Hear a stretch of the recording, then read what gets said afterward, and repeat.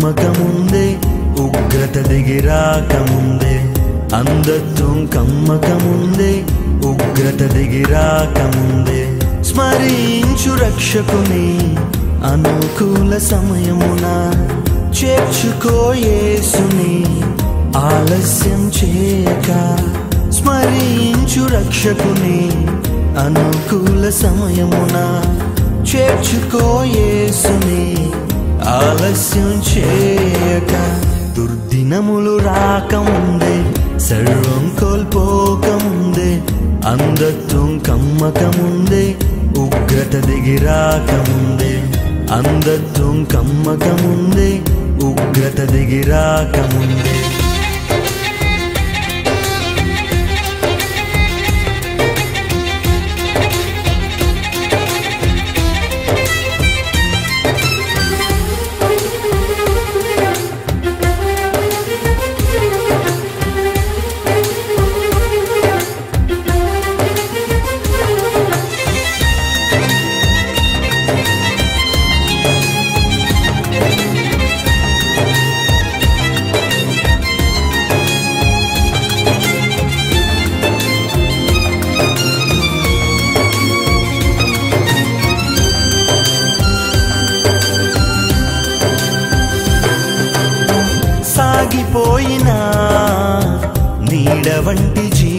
జీవితం అల్పమైనది నీటి బుడగ వంటిది.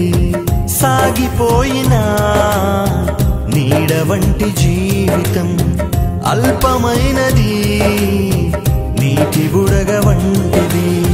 తెరిచి ఉంది తీర్పు ద్వారం మార్పు లేని వారి కోసం తెరిచి ఉంది తీర్పు ద్వారం మార్పు లేని వారి కోసం పాతాళ వేదనలు తప్పించుకొనలేవు.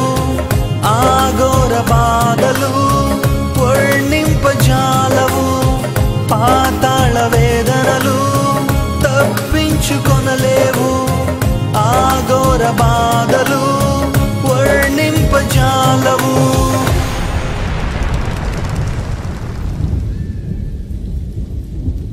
దుర్దినములు రాకముందే సర్వం కోల్పోకముందే అందత్వం కమ్మకముందే ఉగ్రత దిగిరాకముందే. అందత్వం కమ్మకముందే ఉగ్రత దిగిరాకముందే.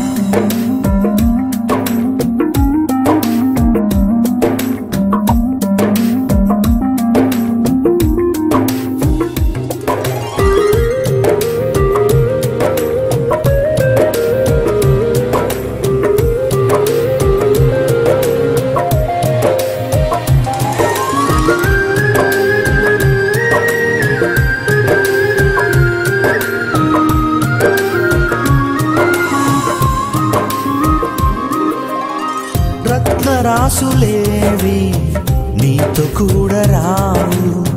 మృతమైన నీ దేహం పనికి రాదు దేనికి రత్నరాసులేవి నీతో కూడా రావు. మృతమైన నీ దేహం పనికి రాదు దేనికి. యేసుక్రీస్తు ప్రభువు నందే ఉంది నీకు రక్షణ. యేసుక్రీస్తు ప్రభువు నందే నుండి నీకు రక్షణ. తొలగించు భ్రమలన్నీ కనుగొనుము సత్యాన్ని. విశ్వసించు యేసుని విడిచిపెట్టు పాపాన్ని. తొలగించు భ్రమలన్నీ కనుగొనుము సత్యాన్ని. విశ్వసించు యేసుని విడిచిపెట్టు పాపాన్ని.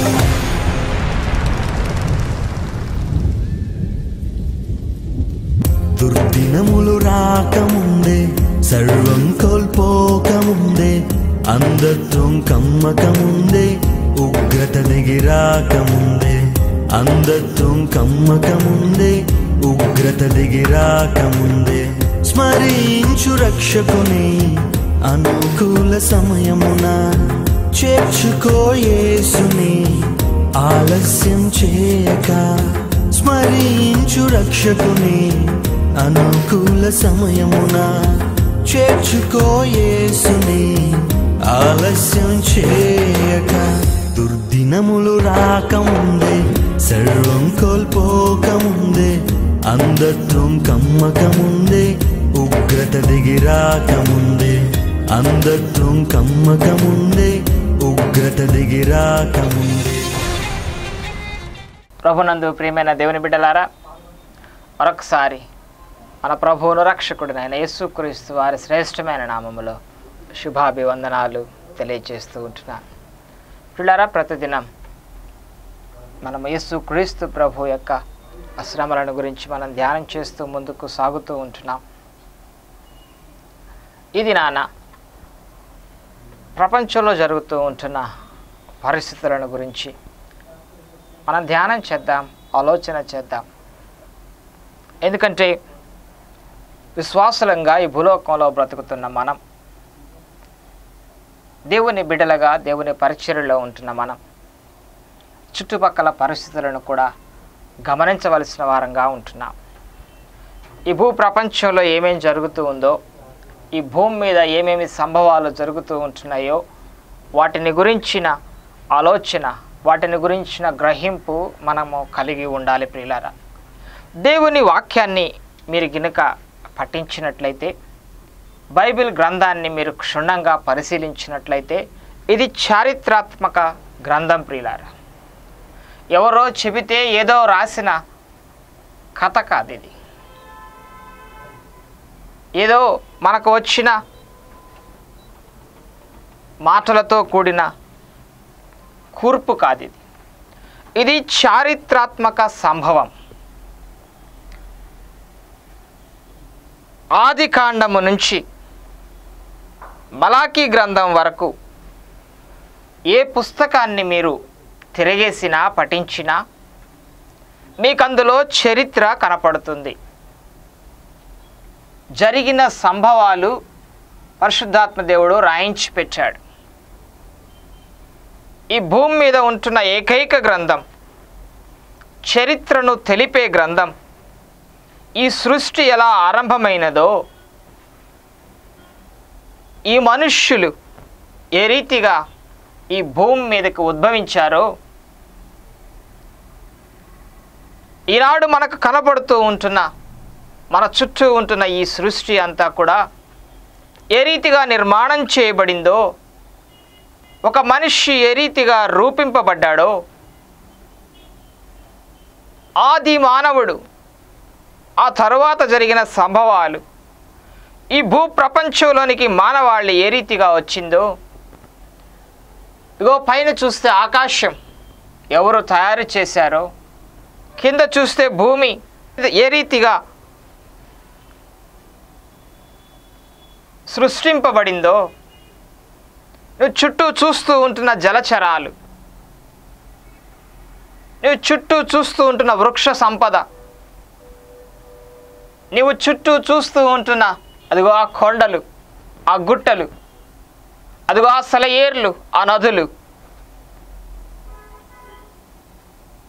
వీటన్నిటినీ గురించిన వివరణ దొరికే ఒకే ఒక గ్రంథం. పరిశుద్ధ గ్రంథం ప్రిలార. ఆషామాసిగా తీసివేయటానికి వీలు లేదు ఆ గ్రంథాన్ని. ఎంతోమంది ఈ గ్రంథాన్ని నాశనం చేయాలని ఈ గ్రంథం భూమి మీద లేకుండా చేయాలి అని వారికి ఉంటున్న అధికారాన్ని వినియోగించుకొని వారికి ఉంటున్న శక్తిని వినియోగించుకొని అబ్బో ఎన్నో చేశారు.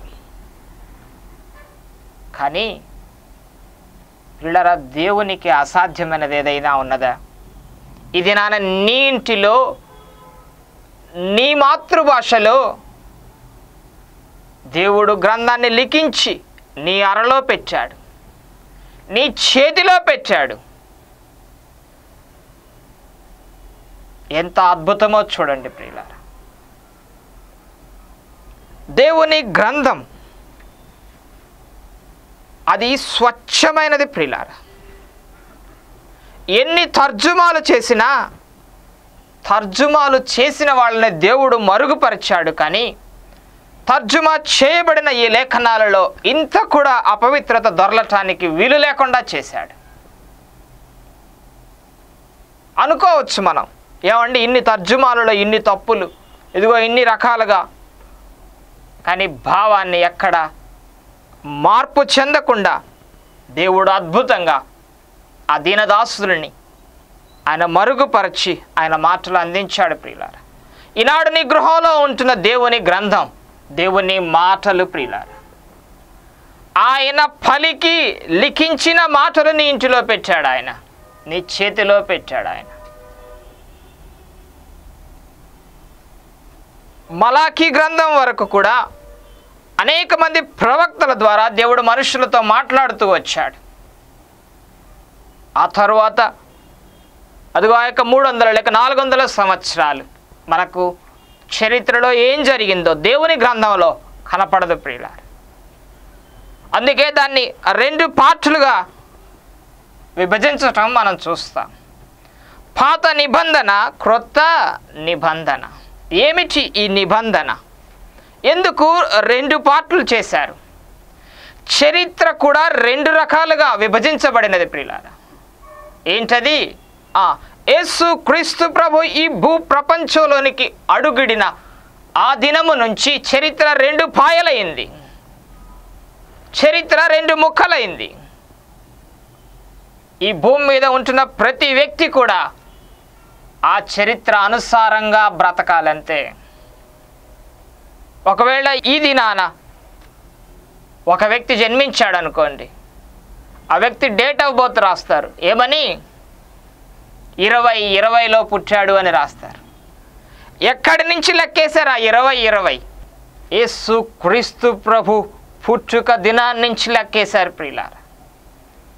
అందుకే మత్తయ్య సువార్త మార్కు సువార్త లూకా సువార్త యోహాను సువార్తలో యేసు క్రీస్తు ప్రభువును గురించిన చారిత్రాత్మక సత్యాలు ఇమిడి ఉన్నాయి.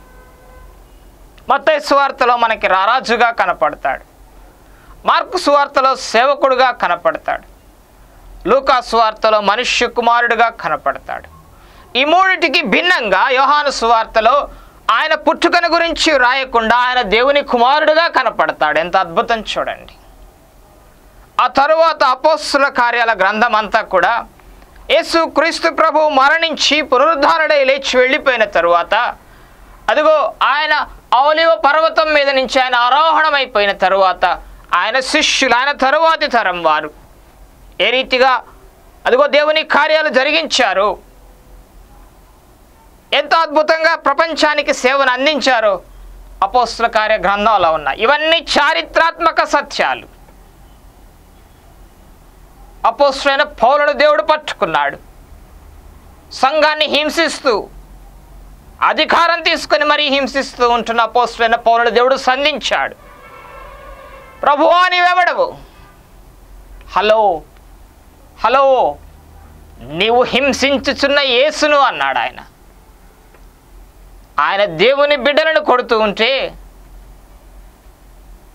ఆ దెబ్బలు ఎవరికి తగిలాయి? దేవునికి తగిలాయి. ముఖాముఖిగా దేవుడు మాట్లాడిన సందర్భం. సౌలు పౌలుగా మారిపోయాడు. ఆ తరువాత పరిచర్య మనకు తెలిసినది. ఒక్కొక్క సంఘానికి కొన్ని అమూల్యమైన సత్యాలు. ఆయన వ్రాయించి పెట్టాడు. ఆ తరువాత చివరిగా దేవుని గ్రంథంలో మనకు కనపడుతూ ఉంటున్న ఒక అమూల్యమైన ప్రవచనాత్మకమైన గ్రంథం ప్రకటన గ్రంథం ప్రియులారా. మనకు చాలాసార్లు ఏమీ అర్థం కావు. కానీ పద్మాసు ద్వీపములో దేవుడు అద్భుతంగా ప్రత్యక్షీకరించి ఏం జరగబోతుందో రాయించి పెట్టాడు. ఏం జరిగిందో అరవై ఐదు పుస్తకాల్లో తేటగా ఉంది. ఏం జరగబోతుందో అరవై ఆరో పుస్తకంలో ఆయన స్పష్టీకరించారు. ఈ దేవుని గ్రంథం ఒక సంపూర్ణమైన గ్రంథం ప్రిలార. దీనికి సాక్షి అనేది ఏదీ లేదు. ఇదే మన ఆహారం ఇదే మన ఆత్మీయ ఆహారం. ఇందులో దేవుడు రాయించిన ప్రతి మాటకు విలువ ఉంది ప్రియులారు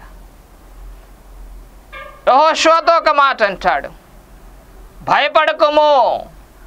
కొన్నిసార్లు మనం భయంతో ఉన్నప్పుడు తీయగానే ఆ మాట మనతో దేవుడు పలికినట్టుగా మనం తీసుకుంటాం కాదా? నీ రాకపోకలేంది హోవా నిన్ను కాపాడునని వాహనం మీద నువ్వు రాసావు అంటే ఆ వాక్యం నిన్ను ఎంత బలపరుస్తుందో? నీ పక్కనున్న వాహనాలు కొన్నిసార్లు యాక్సిడెంట్కి గురవుతూ ఉంటాయి. నీ ముందున్న వాహనం యాక్సిడెంట్కి గురవుతూ ఉంటుంది. కానీ నీవు తప్పింపబడుతూ ఉంటున్నావు.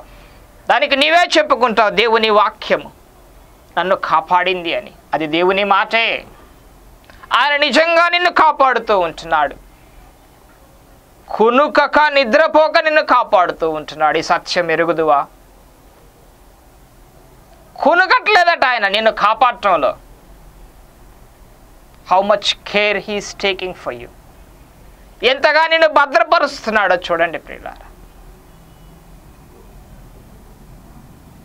ఈనాడు గత వారం గత నెల రోజుల నుంచి ప్రపంచాన్ని భయపెడుతూ ఉంటున్న. ఆ తీవ్రంగా కలచివేస్తూ ఉంటున్న. సంభవం ఏంటో మీకు అందరికీ తెలుసు కదా?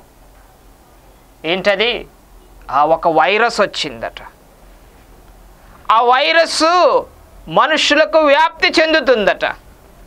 మనుషులకే కాదు దేశాల దేశాలకి వ్యాప్తి చెందుతుంది ప్రియులారా. మనుషులను భయపెడుతుంది. అర్థమైందా నీకు? ఏమైనా అర్థమైందా? ఒక మనిషి నుంచి మరొక మనిషికి ఎలా వ్యాప్తి చెందుతుందండి వైరస్ పాపాన్ని గురించి బోధ చేసేటప్పుడు ఏమండి అతడు తప్పు చేస్తే నాకెందుకండి? లేదా ఫలాని వాళ్ళు చేస్తే నాకెందుకండి? మా నాన్న తప్పు చేస్తే నాకేంటండి? అబ్బో ఎన్ని ప్రశ్నలు సంధిస్తూ ఉంటారో కొన్నిసార్లు. అయ్యా ఏసై నమ్ముకో అయ్యా అంటే పాప విముక్తుడు కాయ్యా అంటే ఇదిగో ఆదాము నుంచి సంక్రమించుకున్న ఈ పాపం ఈ పాపపు తెగులు ఈ పాపపు వైరస్ నుంచి నీ విముక్తి పొందాలి అంటే ఒక మనుష్యుని ద్వారా సంప్రాప్తించుకున్న ఈ పాపం నుంచి విముక్తి పొందాలంటే ఏసైను నమ్ముకో అయ్యా ఏసై దగ్గరికి రాయ్యా అంటే నాకేం సంబంధం లేదన్నట్టుగా మాట్లాడతారు. ఇప్పుడు అర్థమవుతుందా మీకు ప్రపంచం అంతా ఇటువంటి భయం గుప్పిట్లో అల్లాడుతూ ఉందో? దేశాధినేతలకి చాలామందికి అర్థం కావట్లేదు ప్రియులారా. ఒక దేశంలో మొదలై ఒక ప్రాంతంలో ఆరంభమై దేశ దేశాలకి విస్తరిస్తూ ఉంటుంది. ఇది ఇలాగే వ్యాప్తి చెందితే ప్రపంచం పరిస్థితి ఏంటో ఆలోచన చేయండి. ఆ వ్యాక్సినేషన్ కోసం ఏదో ఎన్నో రీసెర్చ్లు చేస్తూ ఉంటున్నారు. అదిగో వెయ్యి మంది అన్నారు. వామ్మో ఇంతమంది చనిపోయారన్నారు. రెండు వేల మందా?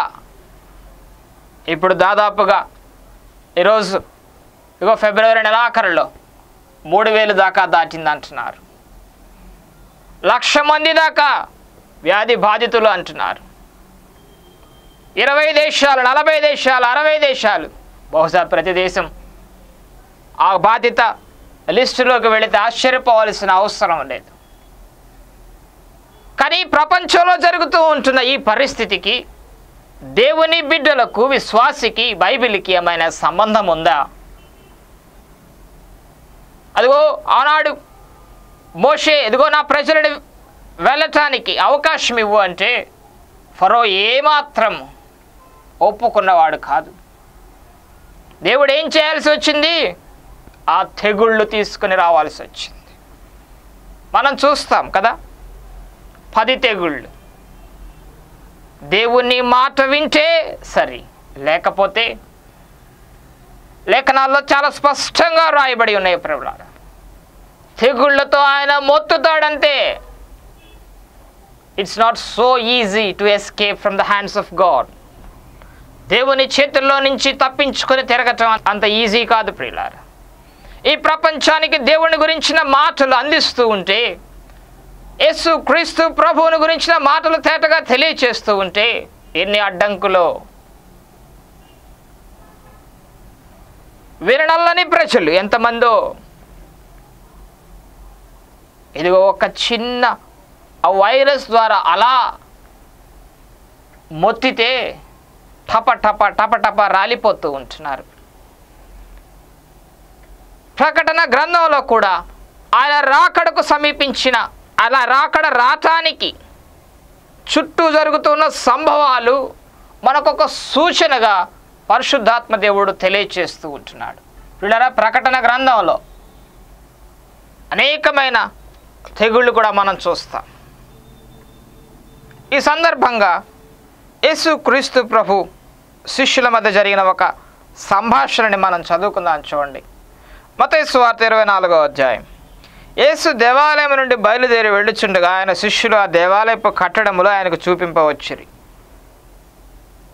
శిష్యులు అదిగో దేవాలయాన్ని చూపిస్తూ ఉంటున్నారు యేసుక్రీస్తు ప్రభువుకి. రెండవ వచనం అందుకు ఆయన మీరు ఇవన్నీ చూస్తున్నారు కదా రాతి మీద రాయి ఒకటైనా ఇక్కడ నిలిచి ఉండకుండా పడద్రోయబడని మీతో నిశ్చయముగా చెప్పుచున్నానని వారితో అని మన ప్రియ ప్రభువుకి అన్నీ తెలుసు ప్రియులారా. ఇగో మీరు ఇంత మంచి కట్టడం చూయిస్తూ ఉంటున్నారు కదా. ఇక ఒక దినం రాబోతూ ఉంది. ఇంత చక్కగా పేర్చబడిన ఈ రాళ్ళు ఒకదాని మీద ఒకటి లేకుండా కూల్చబడే దినం ఒకటి వస్తుంది అనగానే శిష్యులకు ఒక రకమైన ఎగ్జైట్మెంట్ బయలుదేరింది. మనకు కూడా కొన్నిసార్లు చాలా కుతూహలంగా ఉంటాయి కొన్నిసార్లు కదా. అసలు ఏం జరుగుతుందో నా గురించి ఏం జరుగుతుందో నా గురించి నేను తెలుసుకోవాలని నా ఫ్యూచర్ తెలుసుకోవాలండి కొంతమంది దేవుడిని దాసులు అదిగో యొక్క ప్రవచన వరం కలిగిన గొప్ప గొప్ప దైవజనులు దేవునితో ఎంతో దగ్గరగా నడిచిన వారికి పిల్లలు వారు చెబుతూ ఉంటే మనకి ఆసక్తిగా వినాలనిపిస్తూ ఉంటుంది. రాకడను గురించిన సూచనలు సంభవాలు క్రోడీకరించి చెబుతూ ఉంటున్నప్పుడు దేవుని బిడ్డలంగా మనలో కూడా కుతూహలం తయారవుతూ ఉంటుంది. కొన్ని వాస్తవిక సత్యాలు మన చుట్టూ జరుగుతూ ఉంటుండగా వీటిని బట్టి మనకు అర్థమవుతుంది ఏంటంటే దేవుని రాకడ సమీపమై ఉన్నది అని. మూడో వచనం చూడండి. ఆయన ఒలివల కొండ మీద కూర్చుండినప్పుడు శిష్యులు ఆయన ఏకాంతముగా వచ్చి అయ్యా అసలు ఇవి ఎప్పుడు జరుగును? నీ రాకడకు యుగ సమాప్తికి సూచనలేవి మాతో చెప్పుమనగా. ఈ మాటలన్నీ విన్న ఈ శిష్యులకి వాళ్ళకు కూడా ఒక మంచి టైం చూసుకున్నారు. ఒలివ కొండ మీద ఏకాంతంగా ఉన్నప్పుడు ప్రభా ప్రభా నువ్వెప్పుడూ చెబుతుంటావు కదా? అసలు నీ రాకడకి యుగ సమాప్తికి ఏమైనా సిమ్టమ్స్ ఉన్నాయా? ఏమైనా సూచనలు ఉన్నాయా అని ఆయనని ప్రశ్నిస్తారు. రెండు మాటలు ఇక్కడ కనపడతాయి పిల్లారా ఆయన రాకడ వేరు యుగ సమాప్తి వేరు. రాకడకు సూచనలు వేరు యుగ సమాప్తికి సూచనలు వేరు. మన ప్రియప్రభు వస్తాడు. ఈ భూమి మీద ఉంటున్న అన్యులకు అది ఎరుక ఉండదు ప్రియులారు. మన విన్నవాక్యమే ఇది. మనకు తెలిసిన మాటలే ఇవి. అనేక మంది దైవదాసులు చెప్పినవి. ఈ క్షణాల కడపురం రోగితే ఈ ప్రపంచం ఇలానే ఉంటుంది. కానీ ఆయన నమ్మిన వారు ఆరోహణం వెళ్ళిపోతారు. అంతే. ఈ ఈ భూమి మీద ఉంటున్న మనకు కనపడుతున్నవన్నీ కూడా అలానే ఉంటాయి ప్రియులారు. రెప్పపాటులో జరిగేది ఏంటి అంటే నీవేసైనా నమ్ముకున్నావా? ఆయన రక్తధారలలోని పాపాలు కడుక్కున్నావా? నమ్ముకున్న అనుభవం నీకుందా? రక్షింపబడిన అనుభవం నీకుందా? అలాగైతే ఈ క్షణాన కడబురం రోగితే అదిగో నీవు ఆకాశానికి ఎత్తబడతావు. ప్రభు రాకడ చాలాసార్లు చెప్పుకున్నాడు కదా రెండంచెలు ప్రియులారు. కడబూరం రోగగానే మొట్టమొదట ఏం జరుగుతుంది? నమ్ముకున్న వాళ్ళు చనిపోయిన వాళ్ళు మొదట లెక్కిస్తారు ఆ తర్వాత సజీవులంగా ఉండే మనం ఎత్తబడతాం. ఆ తర్వాత మనకు తెలిసినదే ఏడేండ్ల శ్రమల కాలం భూలోకంలో ఉంటుంది. ఇదిగో మనము ఏడు సంవత్సరాలు దేవునితో అక్కడ ఉంటాం. ఆ తరువాత అదిగో భూమి మీదకి అవలివ కొండ మీదకి ఆయనతో పాటు మనము దిగి వస్తాం. అదొక సపరేట్ అంశంగా మనం ధ్యానం చేసుకోవచ్చు. కానీ ఇది నాన్న మనం యేసు ప్రభు చెప్పిన మాట ఒకటి చూసుకుని మనం ముగించుకుందాం. యేసు వారితో ఇట్లనండి ఎవడును మిమ్మల్ని మోసపరచకుండా చూచుకొనడి. ఇది ఇంపార్టెంట్ ప్రియుల మనం చాలామంది మోసపోతున్నాం. నమ్మిన వారు కూడా మోసపోతున్నారు. యేసు ప్రభు రాకడను గురించి చాలాసార్లు మనకు ఒక నిశ్చయిత లేదు. ఆయన కొరకు ఎదురు చూచే అనుభవమే లేదు అసలు. దేవా నీ వస్తావు? నీ కొరకు నేను సిద్ధపడి ఉన్నానన్న అనుభవంలో అనేక మంది మనం లేనేలేం ప్రియుల. అందుకే ఎవరు మిమ్మల్ని మోసపరచకుండా చూచుకో. అనేకులు నా పేరిట వచ్చి నేనే క్రీస్తునని చెప్పి పలువురిని మోసపరచెదరు. యుద్ధాలను గూర్చి యుద్ధ సమాచారాలను గూర్చి వింటారు. మీరు కలవరపడకుండా చూసుకోండి ఇవన్నీ జరగవలసి ఉన్నవి కానీ అంతము వెంటనే రాదు. జనం మీదకి జనం రాజ్యం మీదకి రాజ్యం అక్కడక్కడ కరువులు భూకంపాలు ఇవన్నీ వేదనలకు ప్రారంభము. నేనెందుకు ఈ మాట?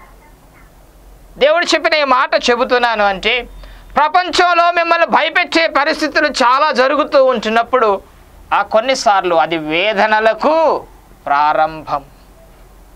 అలాగైతే విశ్వాసం ఏం చేయాలి? మరి నా డ్యూటీ ఏంటి? ఎన్ని వైరస్లన్నా రానివ్వండి.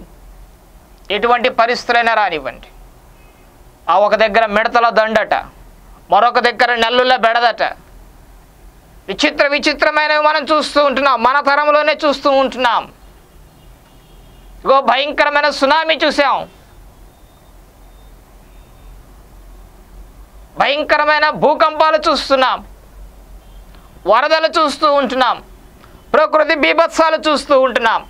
అంతేకాదు ప్రియుల అక్రమము విస్తరించి మనుషుల ప్రేమ చలారిపోయిన దినాల్లో మనం ఉంటున్నాం. ప్రతి దినం మనం చూస్తూ ఉంటున్న వార్తలు. భయంకరమైన వార్తలు. భయంకరమైన వార్తలు మనం చూస్తూ ఉంటున్నాం. దేవుని లేఖనంలో రాయించి పెట్టినవే సంభవాలు జరుగుతూ ఉంటున్నాయి ప్రియులారా.